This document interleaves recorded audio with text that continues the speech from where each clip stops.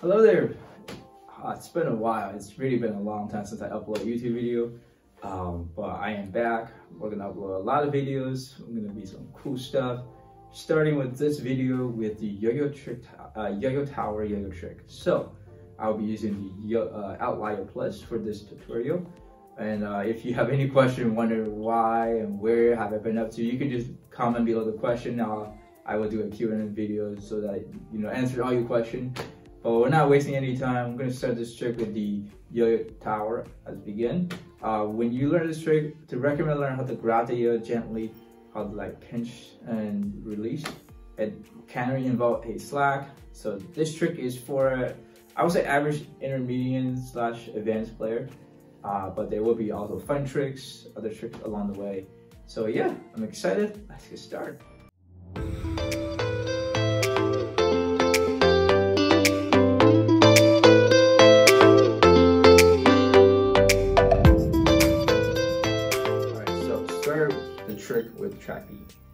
Next, going to an undermount.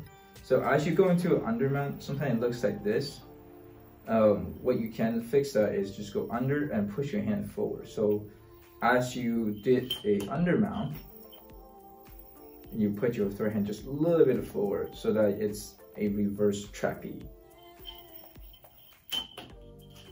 So, boom, okay. Next, swing the yo-yo towards your throw hand and then pop the string out like so. Now, just remember, you go into undermount and the strings are separating quite a bit. So because that the yo-yo will tilt towards uh, you. And so just want to, you know, notify that. Next, swing the yo towards your throw hand and then pop the string out like so. Then you land the string on the yo, land the yo on the string. Dismount, bring it back and land it again. Next, you want to what you want to do is hook the string with your third hand finger and then let that come off. After that, you want to bring your thumb under and then let this come off. Okay, and then the grab and then gently release and then pull. So that's one way to do it. And the next way to do it is just, you can just slack and land it. So it'll be faster and quicker and then you don't have to waste your time. But it takes time to learn these tricks, so be patient.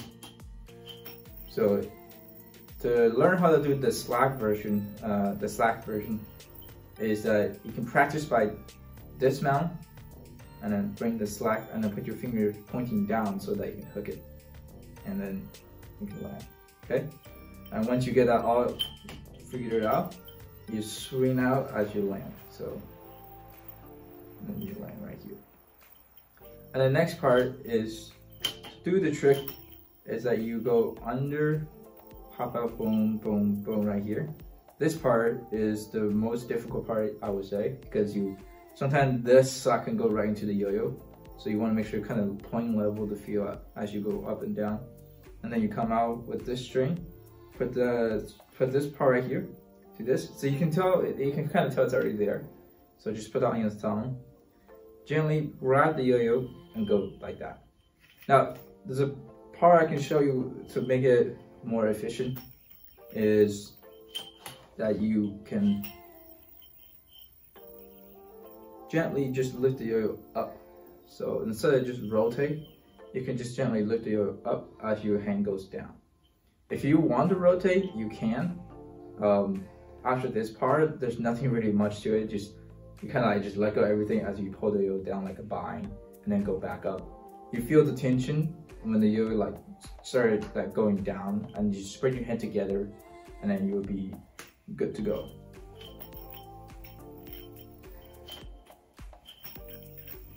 So when you get right here, that's the another part I want to make sure aware. So you don't want to do it carefully. Sometimes you kind of end up like this, with this little mess right here.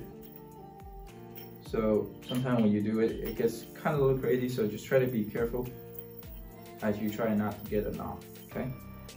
So once you get here, you want this one to fall off.